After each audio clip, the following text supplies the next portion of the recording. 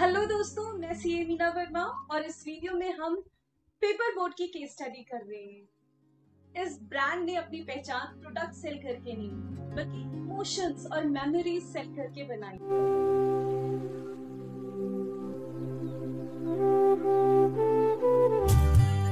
चली बैलगाड़ी तो बस्ता चला, चली मेरी तख्ती किताबें चली। हरी गोदी से भी भली लगती थी, वो माँ के दुपट्टे में साबुन की खुशबू। और वो पतंग लूटने के लिए दौड़ना। एक बारिश की बूंद आके मुँह में गिरे।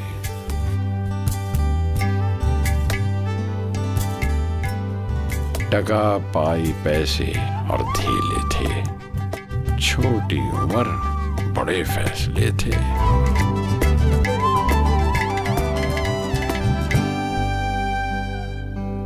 बचपन की यादों को फिर से बहाओ। बड़ी चटपटी है ये फिर से पिलाओ। Paperboat Drinks and Memories. Emotional है ना? ये ब्रांड आपको आपकी मेमोरीज को रिफ्रेश कर देता है। पेपर बोट की शुरुआत नीरज कक्कर सुहास मिश्रा नीरज बियानी और जेम्स नुताली जो यूएस में पैकेजिंग इंडस्ट्री के प्रोफेशनल थे इन्होंने हेक्टर बेवरेजेस नाम से की। 2012 में नूतल के पेरेंट्स इंडिया घूमने आए। नूतल आम पना खरीदना चाहते थे, जो अक्सर उनके पेरेंट्स सुहास मिश्रा अपने घर से लाते थे। आम पना जब गर्मियों में लू चलती है, उस समय पीना सेहत के लिए बहुत अच्छा होता है। पर उस समय नूतल को स्ट्रीट वेंडर के अलावा एक भी हाइजीनिक ऑप्शन नहीं मिला। उनके इस अनसेटिस्फाइड वांट ने इंडिया के ट्रेडिशनल ड्रिंक को हाइजीनिकली पैकेज में सेल करने का एक आइडिया आया। और अगस्त 2013 में हेक्टर बेवरेजेस नाम से पेपर बोट का फाउंडेशन किया गया। उनकी टैगलाइन से समझ आता है कि ये क्या करते हैं। उनकी टैगलाइन है drink and memories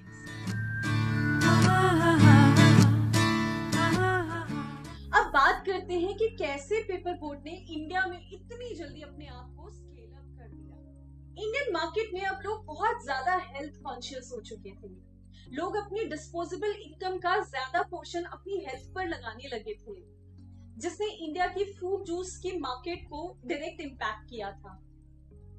fruit juices beverages market का 30 परसेंट शेयर एंजॉय करते हैं।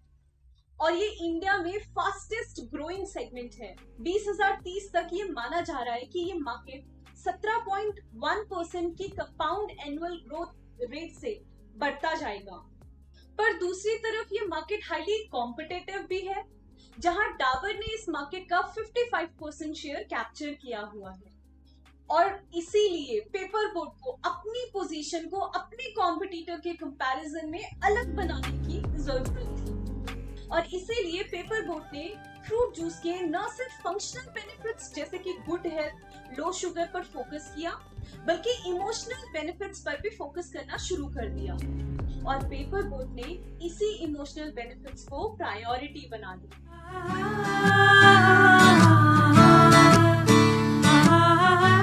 और इसी स्ट्रेटेजी के थ्रू पेपर बोट कंपनी ने अपने प्रोडक्ट के अंदर डिफ्रेंसिएशन के फैक्टर्स को ऐड कर दिया। इमोशनल अपील को क्रिएट करने के लिए कंपनी नेस्टोल्जिया को चूज़ कर रही है। ये कंपनी की टैगलाइन मतलब ड्रिंक एंड मेमोरीज से भी नज़र आता है। कंपनी इंडिया के एथनिक ड्रिंक को सेल करने के लिए उन्होंने ब्रांडिंग के थ्रू ये शो किया। मेकिंग पीपल टेस्ट मेमोरीज उनके प्रोडक्ट एथनिक फ्लेवर के हैं। ये उनके पैकेजिंग से भी समझ आता है। ये अपने प्रोडक्ट की टेस्ट पैकेजिंग ब्रांडिंग एडवर्टीजमेंट के थ्रू ऑडियंस से बहुत ही स्मार्टली कनेक्ट कर रहे हैं। इन सब के थ्रू कंज्यूमर को नेस्टोल्जिया फील कराने की कोशिश की जा रही है। और साथ में ही उनको हर सिप में टेस्ट और गुड हेल्थ का प्रॉमिस भी किया जा रहा है। आइए अब समझते हैं पेपर बोट कंपनी के फोर पीस के बारे में। सबसे पहले हम समझते हैं पेपर बोट का फ़र्स्ट पी मतलब प्रोडक्ट जिसमें आता है ब्रांडिंग और पैकेजिंग सबसे पहले ब्रांडिंग की बात करते हैं। शुरू में पेपर बोट कंपनी ने सिर्फ़ दो प्रोडक्ट लॉन्च किए थे, आमरस और जलजीरा ये ऐसे ड्रिंक्स हैं जिसे बचपन में आपने ज़रूर पिया होगा। और अगर किसी का बचपन 1960 में बीता है तो उन्हें ये याद होगा कि कैसे ये ड्रिंक उन्हें आनंद देता था। Drinks and memories. बाद में इस कंपनी ने एथनिक ड्रिंक्स की कैटेगरी में 14 नए वेरिएंट्स इंट्रोड्यूस किए। इस कंपनी ने अपने प्रोडक्ट के पोर्टफोलियो में मिल्क बेस्ड बेवरेजेस भी बनाकर सेल करने शुरू कर दिए। और रिसेंटली उन्होंने ट्रेडिशनल इंडियन स्वीट चिक्की भी सेल करना शुरू कर दिया। कंपनी का हमेशा ये एम रहा है कि कंपनी अपने प्रोडक्ट को बिना किसी प्रिजर्वेटिव को ऐड किए बगैर मार्केट में कंज्यूमर को सेल कर सके मतलब मतलब जैसे हमारी माँ हमारा ध्यान रखती है वे हमारे स्वाद और सेहत का दोनों का ख्याल रखती है बिल्कुल वैसे ही ये कंपनी हमारे स्वाद और हमारी सेहत. दोनों का ख्याल Now रखना in a चाहता 20 था rupees bag. ये कंपनी अपने प्रोडक्ट को तीन कैटेगरी में सेल करती है फ्रूट बेस्ड ड्रिंक जिसमें आम पना जलजीरा आम रस काला खट्टा ये सब आते हैं। मिल्क बेस्ड ड्रिंक जिसमें बटर मिल्क बादाम मिल्क ठंडाई नीर ये सब आते हैं। और अदर प्रोडक्ट जिसमें चिक्की, आम पापड़ कोकोनट वाटर पनाकम, सरबते खास और जिंजर लेमन टी आते हैं। अब इसके बाद बात करते हैं पेपर बोर्ड के प्रोडक्ट की पैकेजिंग के बारे में। उन्होंने अपने प्रोडक्ट की पैकेजिंग नाशपति के शेप में एक फ्लेक्सिबल पाउच जिसे डॉय पैक कहा जाता है, इसमें की। जो कंपनी के प्रोडक्ट को अपने कॉम्पिटिटर के कंपैरिजन में एक यूनिक आइडेंटिटी देता है। ये पैकेजिंग लेयर्स में होती है, जिसमें पेपर फॉइल और एचएसएल मतलब हीट सील लैकर्स में होती है। लार्ज क्वांटिटी के लिए, जैसे कि एक लीटर के लिए टेट्रा प्रिज्म पैक यूज़ होता है। क्लेवर ह्यूमरस अनयूजुअल और अपीलिंग तरीके से इसके पाउच के नीचे एक वन लाइनर भी ऐड किया जाता है, जो कंज्यूमर को एक पर्सनल टच देने के लिए काफ़ी होता है। इस लाइन को पढ़कर आपको लगेगा कि ये ब्रांड आपसे खुद बात करने की कोशिश कर रहा है। इसने इस वन लाइनर के थ्रू इंडिया में अपने आप को बहुत फ़ेमस कर दिया और फाइनेंशियल ईयर 2018 में कंपनी ने 71 परसेंट की ग्रोथ अचीव की अब बात करते हैं फोर पी में से नेक्स्ट पी की, जिसे प्लेस कहा जाता है। प्लेस के अंदर मार्केट चैनल और डिस्ट्रीब्यूशन ये सारी चीज़ें आती हैं। Paper boat has no question ask to return policy मतलब अगर कोई भी रिटेलर अपने प्रोडक्ट को रिटर्न कराना चाहते हैं तो कंपनी बहुत आसानी से उसे रिटर्न कर देती है। कंपनी की रिटर्न पॉलिसी बहुत अच्छी है। कंपनी हमेशा ये इंश्योर करती है कि उसके रिटेलर हमेशा फ्रेश फ्रेश प्रोडक्ट का स्टॉक बनाकर रखें।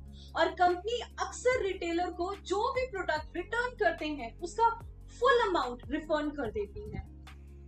बजाय इसके कि दूसरे कॉम्पिटिटर जो भी प्रोडक्ट रिटर्न होता है, उसका, उस अमाउंट का कुछ परसेंट ही रिफंड करते हैं।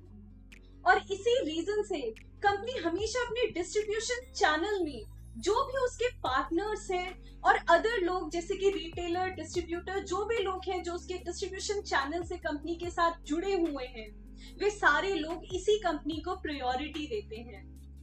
अपने प्रोडक्ट के रिटर्न के रिफंड में कंपनी जो इंश्योरेंस देती है, उसने कंपनी के प्रोडक्ट जैसे आम पना आम रस, गोलगप्पा जैसे बेवरेजेस को और भी अट्रैक्टिव बना दिया है। तो इसी तरह अगर आप अपने प्रोडक्ट की सेल बढ़ाना चाहते हैं तो आपको भी अपने ऑर्गेनाइजेशन के जो डिस्ट्रीब्यूशन चैनल है, उसके अंदर जितने भी रिटेलर डिस्ट्रीब्यूटर और जितने भी पार्टनर्स और या जितने भी लोग इस डिस्ट्रीब्यूशन चैनल के अंदर आपके ऑर्गेनाइजेशन से जुड़े हुए हैं, आपको हमेशा उनको खुश रखना चाहिए। अगर रिटेलर डिस्ट्रीब्यूटर और जितने भी लोग हैं, ये सब आपके ऑर्गेनाइजेशन से खुश रहेंगे तो वो हमेशा आपके प्रोडक्ट को प्रायोरिटी देंगे। हमेशा आपके प्रोडक्ट को दूसरों को रिकमेंड करेंगे। फोर पी का नेक्स्ट पी है प्राइसिंग जिसके अंदर डिस्काउंट क्रेडिट पॉलिसीज़ और ऑफर्स आते हैं। Paper board differential pricing model follow करता है। वे सेम प्रोडक्ट को डिफरेंट प्लेसेस में डिफरेंट प्राइसेस में सेल कर रहे हैं। और इसीलिए वे हर तरह के सेगमेंट को कैटर करने में सफल रहे हैं अभी वे 250 ml पैक के ड्रिंक को 30 रुपए में सेल कर रहे हैं और एक लीटर के पैक के ड्रिंक को अस्सी रुपए से सौ रुपए के बीच में सेल कर रहे हैं। ई कॉमर्स प्लेटफॉर्म जैसे कि Amazon में अगर आप एक साथ छह पैकेजेस को परचेज करते हैं तो वो आपको डिस्काउंट में मिल जाएँगे। जबकि अगर आप डी मार्ट या फिर रिलायंस मार्ट जैसे स्टोर्स में जाते हैं तो वहाँ पे आपको इंडिविजुअल प्रोडक्ट में भी डिस्काउंट मिल जाता है। कंपनी ने अपने प्रोडक्ट के प्राइसिंग या तो अपने डाबर जैसे कॉम्पिटिटर के बराबर रखा है, या तो उनसे कम प्राइसिंग रखा है। इंडियन मार्केट को पेनिट्रेट करने के लिए कंपनी ने 250 ml के सिंपल पैकेजिंग की है।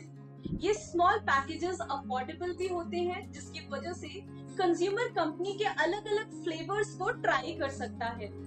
जिससे कंज्यूमर कंपनी के फ्लेवर्स को समझ सकता है।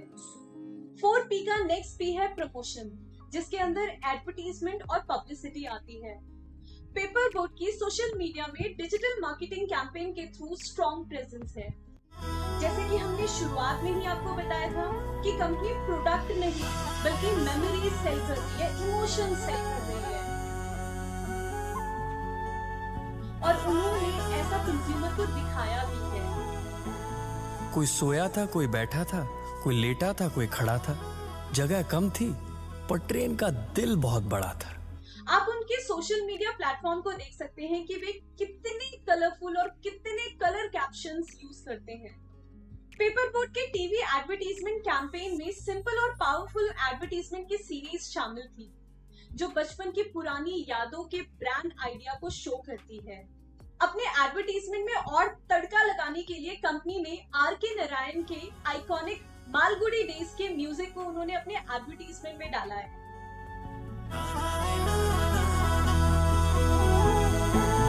इसके अलावा ब्रांड उन चीज़ों पर भी बात करता है जो एक्सक्लूसिवली बच्चों के लिए है। टीवी एडवर्टीजमेंट के अलावा बचपन की यादों और पुरानी यादों का जश्न बनाते हुए कई सारी शॉर्ट फिल्म्स भी रिलीज़ की गई। इन शॉर्ट फिल्म्स का एम हम सबके अंदर जो बच्चा छुपा है, उस बच्चे को बाहर लाना था।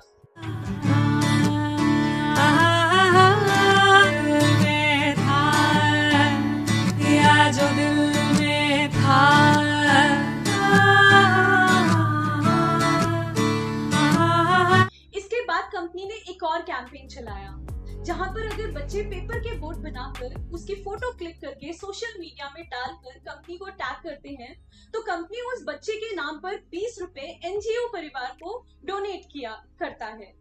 इस कैंपेन के थ्रू कंपनी ने दो तीर से एक निशाने मारे।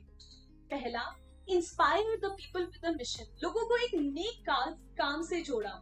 और दूसरा, जब लोग सोशल मीडिया सोशल प्लेटफॉर्म में कंपनी को टैग कर रहे थे कंपनी के कैंपेन फ्लोट अ बोट को टैग कर रहे थे तो कंपनी को फ्री में पब्लिसिटी भी मिल रही थी। इसके बाद कंपनी ने इंडियन मार्केट में एक्सपेंशन के लिए और कई सारे वेंचर्स किए। जैसे कि कंपनी ने बुक पब्लिशिंग के साथ भी वेंचर किया और जंगल बुक को रीप्रिंट करवाया।